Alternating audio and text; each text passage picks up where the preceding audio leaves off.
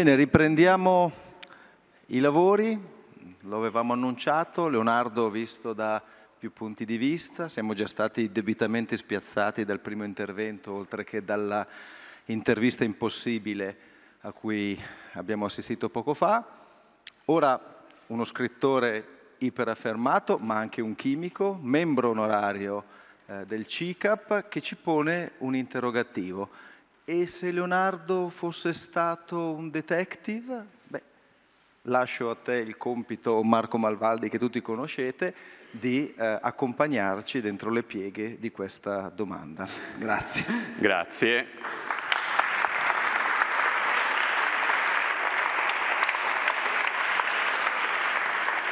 Buongiorno a tutti, eh, salve.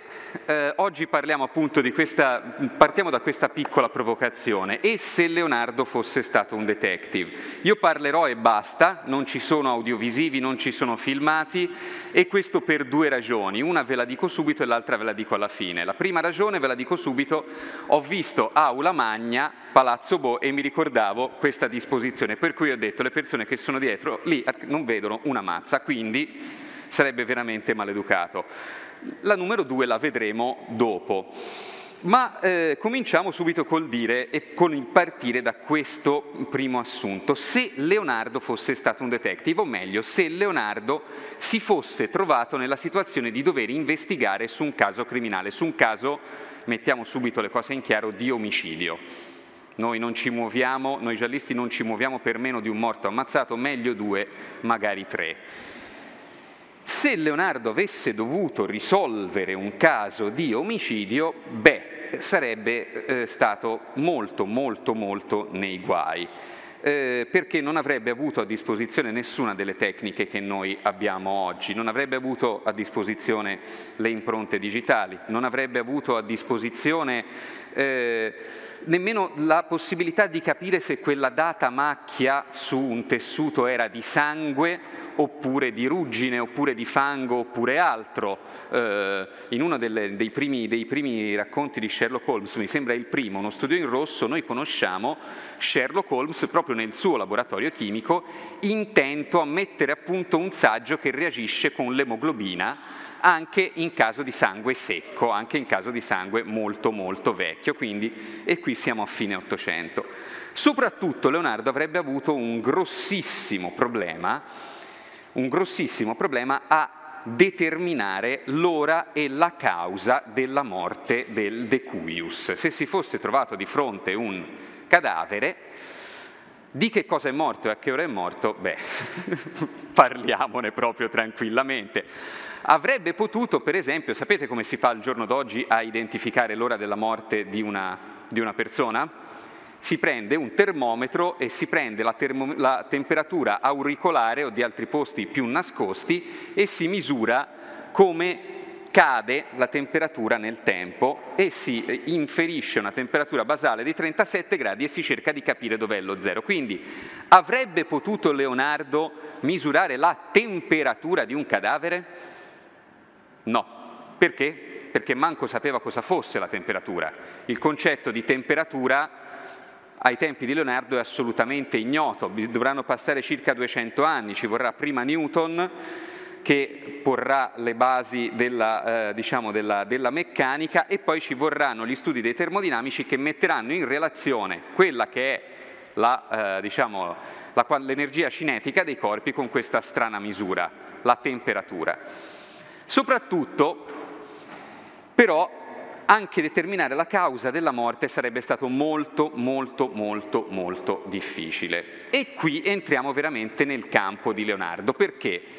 Perché se vogliamo parlare di cose che Leonardo non avrebbe potuto fare, possiamo stare qui 40 minuti. Quello di cui ci occupiamo ora è una visione eh, che Leonardo aveva e che sarebbe stata raggiunta solo parecchi anni dopo, per la precisione fra 300 e 400 anni dopo. Perché? Partiamo dal futuro, se vi va bene, e poi arriveremo al passato, poi arriveremo a Leonardo.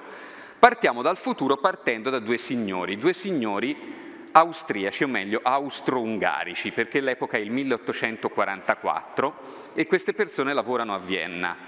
Una delle due si chiama Skoda, come le automobili. L'altro si chiama Rokitansky, forse una marca di trattori. Skoda e Rokitansky sono allievi, particolarmente Rokitansky, di un grandissimo italiano. Il tema scelto è... Eh, il tema di cui parliamo deve in qualche modo la sua scelta alla città dove ci troviamo, che è Padova, perché si parlerà di medicina. E Skoda e Rokitansky sono due medici, due grandissimi medici, e sono allievi di un grandissimo medico italiano che si chiama Giovanni Battista Morgagni. Giovanni Battista Morgagni è una persona che ha avuto un'intuizione geniale, che oggi ci sembra scontata. Giovanni Battista Morgagni dice, facendosi ridere dietro più o meno da mezza Europa, che la malattia non è dovuta a uno squilibrio dei fluidi, ma è dovuta allo scompenso di un organo. È dovuta al malfunzionamento di uno dei tanti pezzi diversi, differenziabili e distinguibili che ci sono dentro il nostro corpo. Morgagni si rende conto per primo, facendo dissezioni di cadaveri, che agli stessi sintomi non sono correlati stessi, le stesse condizioni degli organi interni dice guarda tu puoi essere giallo perché hai un fegato grosso così oppure puoi essere giallo perché hai dei reni piccoli così.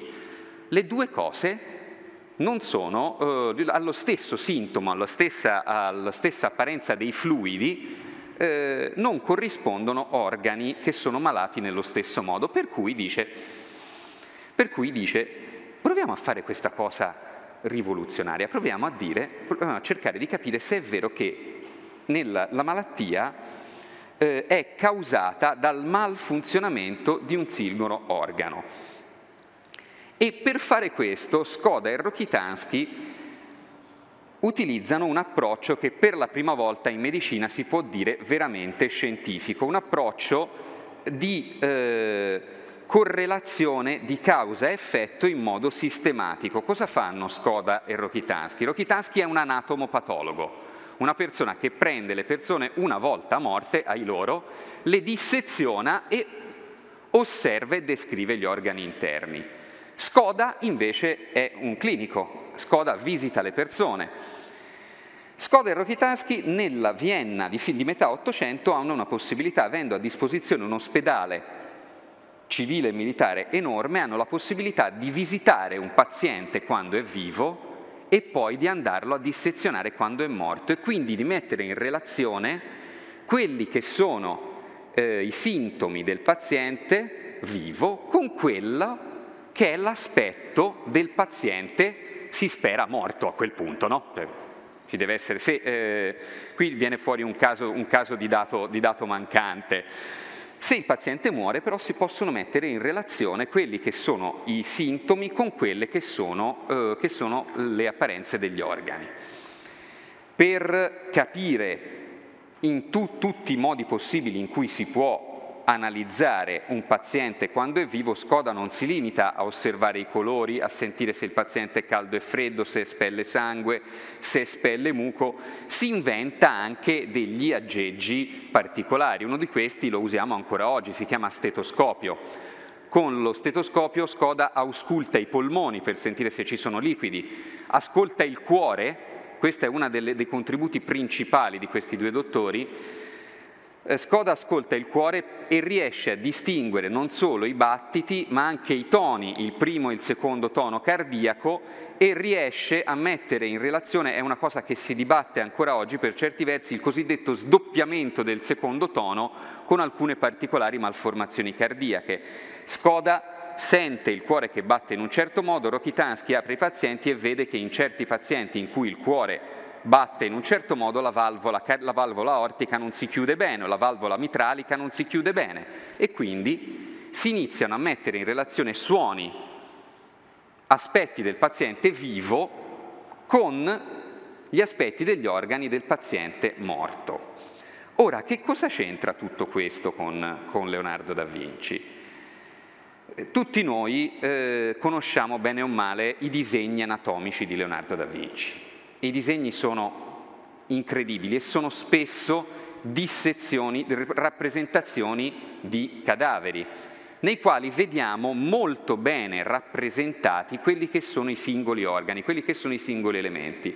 Leonardo disegna gli arti e disegna, mette in evidenza i tendini e i muscoli. Non solo, mette in evidenza una cosa che poi l'anatomia si scorderà per qualche secolo, mette in evidenza il tessuto miofasciale, la fascia, quella guaina elastica che ricopre i tessuti e che sta fra fibra muscolare e fibra muscolare, che in realtà ha un'importanza enorme a livello propriocettivo e che Leonardo osserva essere più elastica del muscolo e quasi simile a quella del tendine, che lui chiama ligamento, indifferentemente dal fatto se colleghi fra loro un osso e un muscolo oppure due ossa.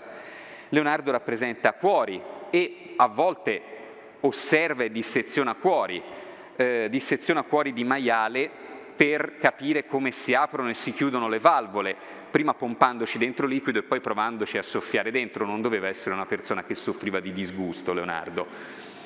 Vediamo nelle rappresentazioni anatomiche di Leonardo feti, vediamo rappresentazioni di organi genitali, vediamo una bellissima rappresentazione per esempio del coito nel quale l'uomo è dentro la donna e i testicoli sono collegati, il pene è collegato da una parte ai testicoli e da quell'altra al cervello. È un qualcosa che da parte delle donne potrebbe dare adito a battute orrende, perché molti dei particolari anatomici che Leonardo mette non sono particolari osservati, sono particolari inferiti è il modo in cui Leonardo crede che le cose eh, siano, non è il modo in cui le cose sono realmente, il modo in cui le cose eh, possono essere viste realmente. Non so quanti di voi hanno mai fatto un'autopsia, c'è qualche medico in sala? Oh, salve. Allora, avete fatto autopsie o assistito a autopsie? Allora, voi sapete, e chi non lo sa si deve fidare di me e di loro, che il modo in cui si effettua un'autopsia è determinante nel vedere poi cosa si mette a nudo. Se uno vuole, per esempio, eh, vedere queste catene miofasciali nel corpo, che si, eh, per esempio, un, quella che è la cosiddetta catena miofasciale posteriore, quella che unisce il mio scalpo ai miei talloni e che si può avvertire meccanicamente se io piego la testa e sento una lieve tensione ai talloni, beh, una delle prime operazioni autoptiche che si fanno, che è quella di rimuovere il tessuto miofasciale eh, grattando, mh, mm, diciamo, va un po' a discapito. Solo nei primi, eh, nei primi anni 70 Thomas Myers ha cominciato a fare dissezioni anatomiche per mettere in evidenza quelli che sono i tessuti eh, quelli che sono i tessuti miofasciali.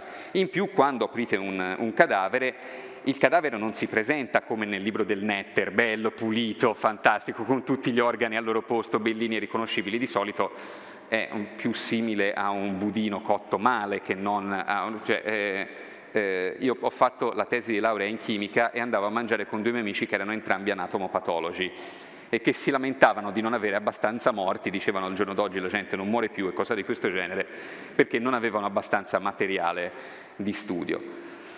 Eh, fare un disegno anatomico avendo a disposizione un cadavere non è un qualcosa eh, che viene automatico, è necessario un grosso spirito di osservazione, è necessario un grosso spirito di in, una grossa capacità di inferenza per immaginarsi quello che c'è. Molti dei dettagli, alcuni, parecchi dei dettagli anatomici che troviamo appunto nei disegni di Leonardo sono semplicemente sbagliati. Se torniamo alla, eh, al disegno di cui si parlava prima, quello del coito, perdonatemi se ci insisto, ma la possibilità di parlare di accoppiamenti in questa sala meravigliosa è una provocazione troppo bella per resistere, eh, ci sono due particolari sbagliati, entrambi non possono essere in qualche modo che non poteva, Leonardo non poteva sapere. Uno appunto è questo collegamento tra i testicoli e il cervello, collegamento abbiamo detto diciamo, più metaforico che reale. L'altro è il fatto che vediamo eh, il membro dell'uomo diritto, quasi diritto, mentre in realtà quando questa cosa capita eh, l'oggetto in questione è piegato quasi a 90 gradi, una cosa che hanno scoperto solo nel 2000 e l'hanno scoperta in un modo molto particolare, prendendo due acrobati del circo e mettendoli a trombare nell'NMR, nel tubo della risonanza magnetica. Dopodiché a un certo punto le hanno detto state fermissimi per cortesia, vi facciamo una foto e tac. È uno studio che è valso la, la vittoria del premio IG Nobel ai due medici olandesi che lo hanno, che lo hanno proposto. Perché è importante sottolineare questa cosa? Beh, se noi vediamo, vediamo, tanti disegni anatomici di Leonardo, possiamo pensare che li abbia ottenuti dissezionando dei cadaveri, ma ci sono casi in cui questa dissezione appare improbabile. Il disegno del feto nel grembo materno, possibile che Leonardo abbia dissezionato una donna incinta? Possibile, le donne si sa non avevano anima all'epoca, ma molto molto molto improbabile. Possibile che abbia preso due amanti nel corso dell'atto, li abbia congelati e dissezionati con una katana laser? Molto molto molto più molto molto molto più difficile. È un qualcosa che avrà fatto basandosi sull'astrazione, sulla capacità di ricostruire l'interno del corpo sulla base di quello che sapeva e questo è il punto fondamentale. Leonardo è il primo che nella sua epoca capisce che cosa si deve guardare. Se si vanno a guardare i disegni anatomici di epoca pre-leonardiana e per molti anni post-leonardiana, i disegni anatomici dell'epoca sono semplicemente ridicoli vediamo omini al posto degli organi, vediamo eh, cuori di dimensione spropositate quando si, quando si, degnano di mettere il cuore, eh, l'intestino non è praticamente considerato, alcuni organi non compaiono perché gli organi devono essere sette come i pianeti, la roba che è in più chiaramente non serve. E eh, la posizione non importa, vediamo cuori qui, mm, mm, l'unico, l'unico, il, il cervello è un qualcosa il cui funzionamento non è eh, non è chiarissimo e sarà chiaro, comincerà a diventare chiaro solo un po' di tempo dopo. Perché il primo, dopo Leonardo, che inizia a fare tavole anatomiche un po' più eh, diciamo, realistiche, tavole anatomiche basate sugli organi, si chiama Andrea Vesalio, è un vero medico lui eh, eh, e avrà eh, modo di curare eh, o di assistere alla morte di personaggi famosi, fra cui il re francese Luigi XIV. Eh, allora, che cosa, eh, che cosa succede? Il fatto è che Leonardo riesce a capire qual è la risoluzione giusta per guardare l'uomo. Avrebbe potuto fare analisi chimiche? Beh, all'epoca no, all'epoca gli atomi non avevano ancora dignità di esistenza e la chimica era per certi versi una rozza alchimia che una volta ci coglieva e venti volte no. Quello che poteva fare con i suoi mezzi, che erano principalmente i suoi sensi, era guardare gli organi. Era il grado di risoluzione più indovinato, più, eh, più adatto che aveva a disposizione. E questo Leonardo fa. In questo, per questo motivo, eh, attraverso, eh, attraverso lo studio di come Leonardo ricostruisce i cadaveri, capiamo molto del motivo per cui Leonardo è chiamato eh, in, certo, in, un certo senso la scienza, il primo scienziato, meglio l'ultimo scienziato prima della scienza. Perché Leonardo parte da due principi. Per quale motivo Leonardo studia l'anatomia? Vuole capire come funziona un corpo umano? Sì, ma il funzionamento deve essere il funzionamento della sua dinamica. L'interesse di Leonardo è capire come si muove un corpo umano, come esprime forza, cercare di capire se si ritrae una persona che è nella stessa posizione ma che sta posando un oggetto, sta sollevando un oggetto, la pelle, dice Leonardo nel suo trattato di pittura, si piega in modo diverso e quindi diverse sono le forze che esso esercita.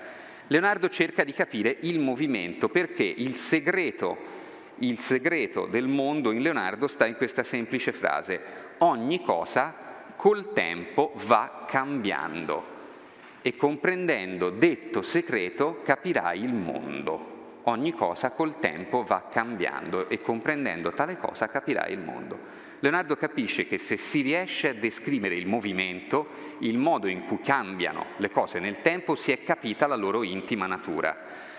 E eh, noi oggi, noi che facciamo fisica, chimica eh, e biologia, mettiamo molto spesso questo come principio centrale. I fisici scrivono quasi sempre equazioni differenziali, equazioni, regole che cercano di capire come varia una cosa nel tempo a partire da come è messa nello spazio, a partire da come sono costruiti i meccanismi che la, eh, che la compongono. La stessa, I biologi cercano di capire l'evoluzione, cercano di capire in, in, oppure eh, appunto, lo sviluppo di un corpo oppure il decorso di una malattia, cercano di capire come un qualcosa evolve nel tempo a scale temporali differenti oppure come si organizzano, si organizzano colonie di enti differenti, che siano batteri o elettori o altre cose di questo genere. Ho detto elettori perché ultimamente tutti noi abbiamo, diciamo, dovremmo essere studiati molto più dai biologi che non dagli, dagli studenti comportamentali. E eh, in questo senso Leonardo ha due pinze intellettuali. Una è appunto questa, il, eh, le ipotesi e i fatti. Leonardo deve accettare i fatti, dice che se un qualcosa non, si, non contrasta con la tua teoria, allora è la tua teoria a essere sbagliata, e cerca di mettere d'accordo ipotesi e fatti con la pinza della spiegazione. Se le cose riescono a essere spiegate, il fatto riesce, collima con l'ipotesi, allora sei riuscito a spiegarlo. Lo fa in maniera rozza perché non ha e non padroneggia la matematica. La matematica di Leonardo è molto povera ed è questo uno dei motivi per cui non possiamo definire Leonardo uno scienziato la matematica di Leonardo è eh, veramente, veramente povera e poco affidabile. Per darvi un esempio, Leonardo da Vinci scrive a un certo punto in uno dei suoi manoscritti che eh, eh, un mezzo più un mezzo è uguale a due quarti, cioè un mezzo più un mezzo è uguale a un mezzo. Non è così, cioè, se lo scrivete oggi in prima media vi rincorrono.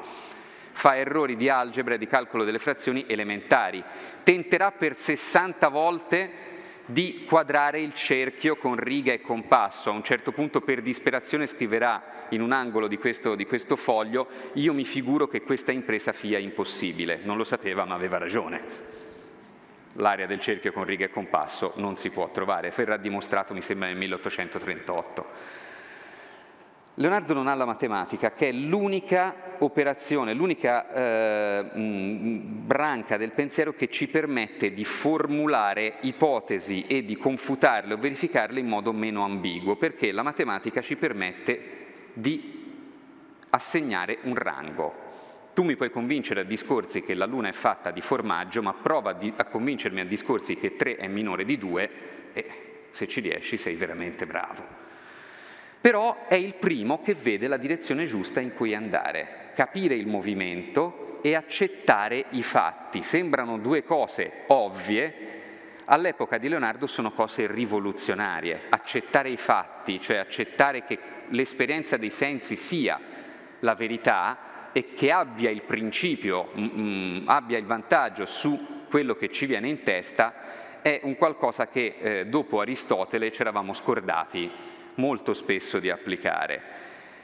Quindi se Leonardo avesse dovuto confrontarsi con un caso criminale, probabilmente sarebbe stato veramente eh, nei guai, ma al tempo stesso probabilmente da queste, dalle sue lucubrazioni sarebbe nato qualcosa di meraviglioso perché l'uomo, giova a ricordarlo, anche se spesso gli affibbiamo eh, capacità che non aveva, era a mio giudizio veramente un genio.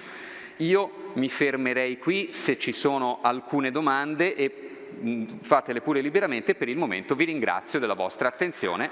Grazie.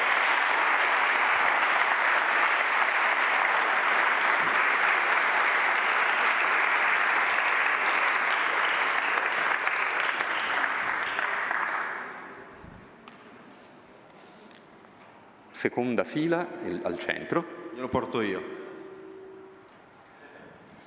Eh, la matematica di Leonardo appunto era molto primitiva, ma per quale motivo? Perché Leonardo non aveva potuto fare studi di matematica o perché ancora doveva evolversi la matematica con i sistemi di calcolo più moderni? Allora, entrambi i motivi in realtà. Leonardo inizia la sua formazione, diciamo così, scientifica a Firenze con Paolo del Pozzo Toscanelli, che è un fisico. E a Leonardo interessa la fisica, non tanto la matematica.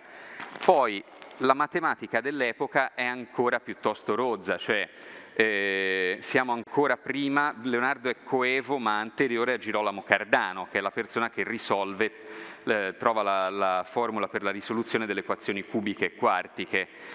La matematica di Leonardo è poco studiata nella prima parte della sua vita, conosce proprio l'abaco eh, per intendersi, arriva alle moltiplicazioni, si evolve un po' quando conosce frate Luca Pacioli a Milano, collaborerà con Luca Pacioli a Milano, eh, farà le illustrazioni del, eh, della Summa de Aritmetica et Geometria e all'età di 40 anni si metterà a studiare matematica sul serio.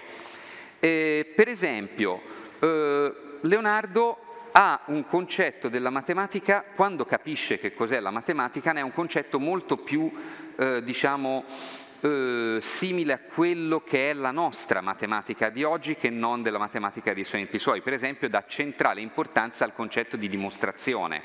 Scrive testualmente che dimostrazione è costruzione di nuovo oggetto da vecchie fondamenta et se corretta eterna e se sbagliata nulla.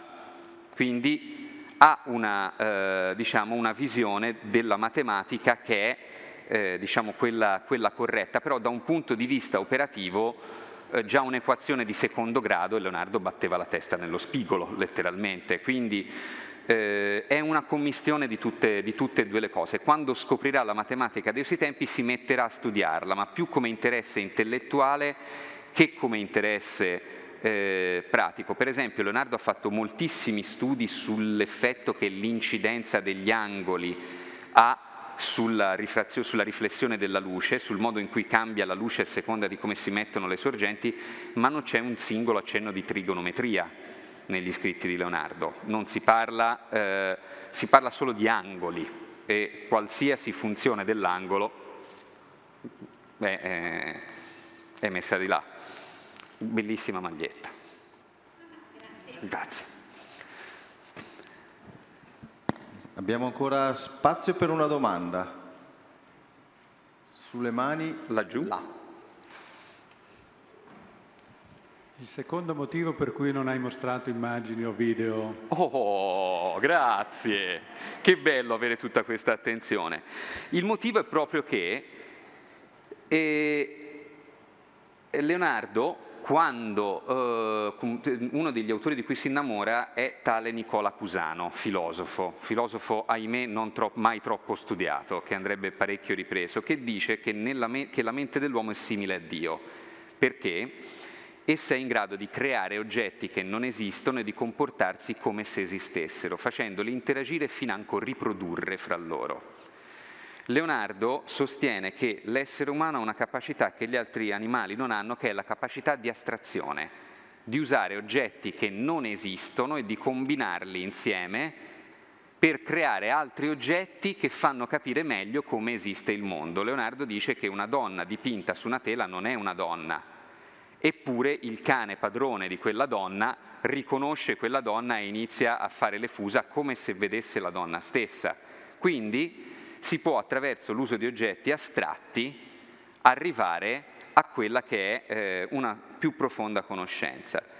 Io qui ho voluto usare solo le parole perché ho voluto che ognuno di noi si immaginasse nella testa esattamente le immagini, le oggetti, le persone di cui stavo parlando. Non volevo farvi vedere il mio Leonardo o la mia o la, la figura del coito o altre cose, perché volevo che ve le immaginaste, che vi che usaste la vostra capacità di astrazione, che è la nostra reale capacità. Quando la usiamo correttamente, dobbiamo ricordarci sempre che ha una potenza mostruosa e dobbiamo ricordarci sempre che la sua eh, regola, la, la sua potenza sta nel fatto di utilizzarne bene le regole, non di vederne l'aspetto superficiale. La parola capra non assomiglia a una capra e non si può mungere. Però se io dico capra a lei, lei vede una capra e sa tutte le cose che si possono fare con una capra. Bisogna andare un livellino più in là. Io non ho proiettato immagini per questo, perché così tutti noi ci siamo potuti proiettare il nostro film mentale nella testa e, secondo me, seguire un pochino meglio quello che veniva detto. Forse è una mia pia illusione, ma io ho voluto fare così, in spirito leonardesco. Grazie.